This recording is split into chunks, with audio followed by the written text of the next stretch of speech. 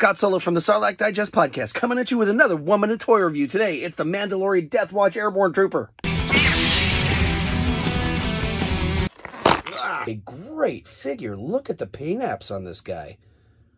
Great detail. Absolutely fantastic. He also has the uh, scope that goes down like that. Removable jetpack. He has the hoses right there. But just look at all the paint apps in there. These are great.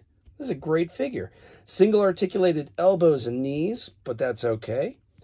Ankles move perfectly. Thighs, hips, torso, neck. That is a damn near perfect figure. Boom, on my Tosche station stand right there. There he is all geared up. He's got the heavy blaster and two small blaster pistols like that. The only miss on this one is they did not give him the rocket plumes that come out like that. Look at that. He is damn near complete. Great figure.